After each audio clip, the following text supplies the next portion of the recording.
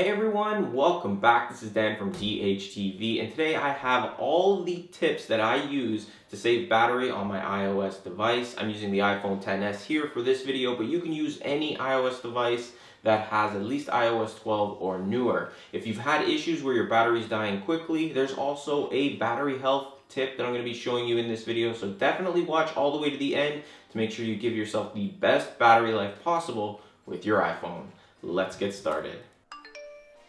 Alright, so for tip number one, let's open our settings once again, and we're going to take a look at notifications. We'll tap there, and you want to make sure that you turn off or control your notifications, especially if you have notifications coming from apps that don't need it. So you can see I have a few here, and there's different options within each. So for example, let's say this one here, books. I don't really use Apple's books. I don't need to receive any notifications. I can turn them off completely or set them up and customize what I get. The sound, if I turn that off, obviously the sound not going off is gonna save you some battery, or you can control if it just shows up in your notification center and doesn't actually pop down as a banner. Totally up to you how you configure it, but turn off the ones you're not using and go through all your apps. That's gonna save you some battery. Tip number two here, we're going to scroll down to where it says password and accounts, and we're gonna take a look at our fetch new data here. So if we tap on that, you can see that push is enabled. So you wanna turn this off because when it's on, this setting is going to constantly search and push new emails through, which is definitely gonna burn through some of that battery life. When you do have it off, you can also configure the fetch option. So how often it's going to search for this data. You can set it to every 15 minutes, hourly, or manually, which means that once you open the app, it'll then fetch all the information. The next tip, I've talked about it many times. It's in the general tab and it's called background app refresh. If we open this up, you can see if I have mine off by default, but you can enable it and have it configured only on Wi-Fi or Wi-Fi and cellular. When it's on, what it's going to do is refresh the content in all of the applications you have open in the background. And if you have a lot of applications like me, that's going to burn through your battery quite a bit. So turning it off is gonna help you with your battery life. The next tip is the standard stuff. If you wanna save your battery life, turn off your Wi-Fi here, just swipe to turn it off. And the same goes for your Bluetooth. Make sure you're doing it from your settings application. If you do it from your control center here, for example, if I turn them both back on and tap, you'll see a little notification here. When I turn it off, it's gonna say disconnected nearby Wi-Fi until tomorrow. So it's not going to be permanent, it'll turn back on. So make sure you do this from settings. The next tips involve Siri. We're just gonna scroll down to where it says Siri and search. We'll tap there and you can see we have a few things going on here. The first one and the main one that burns through the most battery here is going to be the Hey Siri option. It's constantly searching for it. My iPad just went off and that means it's always listening for that keyword. So turning this off is gonna save you battery. The microphone's not gonna be waiting to hear that keyword there. Also, if we scroll down a little bit more, the Siri suggestions. So if we just pull down from the middle, you'll see the Siri suggestion applications. And as you type, different things will pop up that Siri will use what you do on your phone to give you the suggestion that best fits you. Now, if you don't use that or don't really care, you can then disable these three settings or disable the ones you don't want to use. That should save you a little bit of battery at the same time. The next tip is in your Apple ID and cloud settings here. If you take a look in the iCloud section, there is a whole bunch of different applications that are using iCloud, and that means it's going to transfer or sync that information between all of these apps on all of your devices. If you don't need it to do this for anything, for example, down here I had books earlier, let's say I used it. If I don't, just swipe to turn it off or turn it off completely for things like your photos. I traditionally don't use my photo stream and shared albums, things like that to be transferred, so I turn them all off. So whatever you're not using in here, turn that off. Also the share my location section here, this is going to share your location with family and friends in different applications like messages and things like that. I leave that off as well. Turning it off is going to save you some battery. And lastly, family sharing. If you use this and have that family sharing set up, you can configure which apps and features will share the information. Just configure it. I don't have it set up here, but open it up and then just turn them on or off depending on what you need shared. The next tip involves our location services and that's in the privacy tab and we'll tap location services right here. Now this is going to show you all the applications you have that are using your location and this is going to burn through your battery especially if you have lots of applications that use this. So at the very least go through each app and tap on it and set it to never use while you're using the app or always and just decide which applications can and can't use your location. But your best bet for the best battery is to turn location services off completely. Additionally, let's scroll all the way down. There's a little bit of a hidden setting here. It's called System Services. We'll open that up.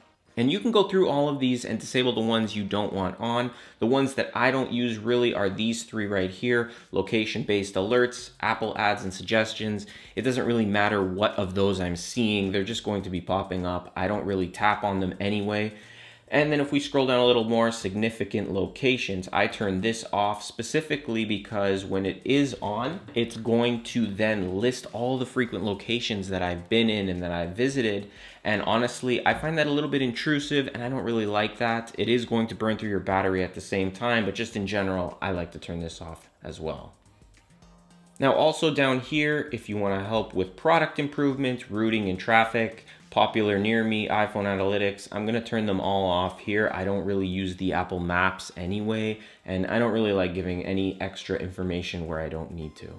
Next is the display. We'll open display and brightness here. And first let's go to the raise to wake. This is a cool feature that's going to allow your phone to wake up. So whenever your phone is down and you raise it, it's gonna wake up. Now this feature is generally okay, but if you use your phone a lot and you're picking it up constantly, having the screen constantly turning on is going to definitely burn through your battery. You also have options up here to drop the brightness down completely. So if you're really in a pinch and you need the brightness down, turn that off right there. I just traditionally leave it like this. Auto lock is also another option here. Now in the past I used to say set your phone to one of these timers so that it'll automatically lock it at a certain time. But now I'm suggesting you set it to never. We use our phones a lot more for looking at recipes or reading. And if that's the case and you have this set to three minutes and you have the recipe open on the table, it's going to lock the phone after three minutes. And the resources it's going to use to unlock it again is going to use more battery. So I suggest set it to never. Just don't forget to lock your phone. The next one is a little bit obvious here, but it's in the sounds and haptics, and that's to turn off your vibrate on ring or vibrate on silent. This way the battery doesn't have to work to power that motor that creates the vibration when they're enabled.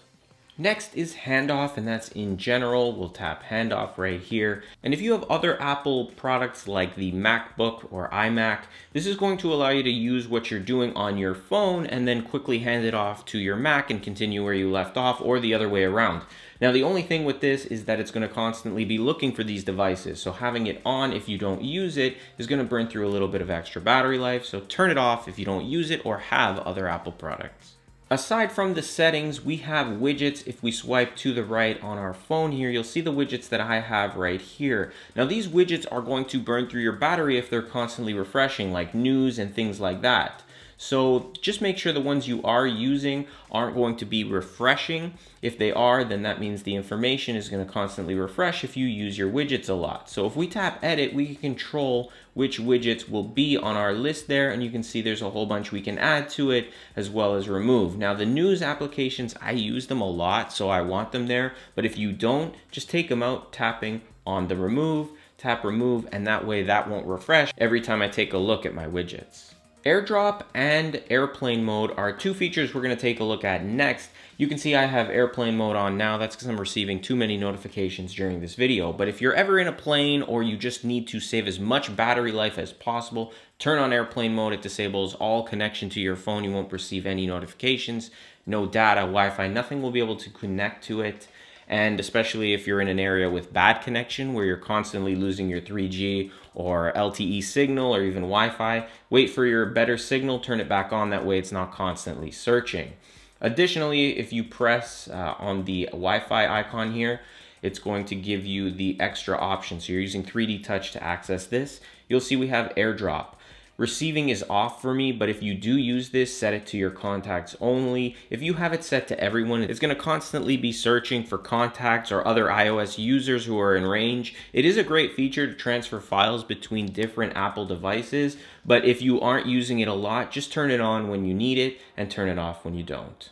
Also, there is a low power mode on the iPhone. You can see my battery is starting to die here and it'll prompt me to access low power mode. I can tap that, it'll put the phone in a lower power mode. You can see in the control center that it's turned yellow there. I can configure turning this on and off just by tapping it here. We can also access this setting in our settings application in the battery tab and you can see low power mode at the top. Now this is going to temporarily reduce the background activities. A lot of them I showed you already like mail fetch, You'll also notice a little bit darkening in the screen. The visuals are gonna change very slightly. It's gonna do its best to try to save the battery for you. And while we're here, you can actually see your battery usage with all the different applications. YouTube, you can see is what I've been using most. You can tap on the graphs to see what was going on for those specific days, times. You have a 10 day, a 24 hour graph. So if we tap there, you can see at that particular time day, I was using YouTube again for the most part. I am a YouTuber, so I'm always on there. But you can then see what's causing the issue and then work around it. Now, if things are still going wrong after you've tried all of these tips, the battery health may be the issue here. So if you tap on battery health, this is my iPhone 10 that we're looking at right here and it's already at 92%. This is about a year after I've owned it. I am a very heavy user of the iPhone. I charge it constantly, but we're already down to 92%. If you start to notice that your phone is down by the 80s, 70s, 60s, you may have some issues going on. You may want to take a look and see if it's time to either purchase a new phone or have the battery replaced. But this is good that it's here now. You can check on your battery health. Tying in a little bit with the battery is going to be the screen time here. If we tap to open that up, you'll be able to see how long you've been using your phone. And one big feature inside this, if we tap on the graph and scroll down, is the pickups. So you can see per hour, I pick it up three times per hour. If I have that raise to wake feature, that means I'm turning the screen on like three times. And sometimes you're picking up your phone just to put it in your pocket to go from place to place or moving out of the way. You don't need that screen turning on. You'll also see how many notifications you're getting and from what per hour. So these notifications are burning through the battery a little bit. So by turning off your notifications or how they're coming through for the highest ones here, for me it's messages and messenger, I can actually configure those, maybe turn them off for certain days or times. And that way I don't have to worry about my battery draining because I'm getting so many of these notifications. And you can look through this seven days or through the day. Again, I have a full video of this. I'll leave the link in the description. You can check it out on how you can set up these screen times and actually control how you're using your phone and different applications. If you wanna go really detailed, I mean, you can go to general, software update.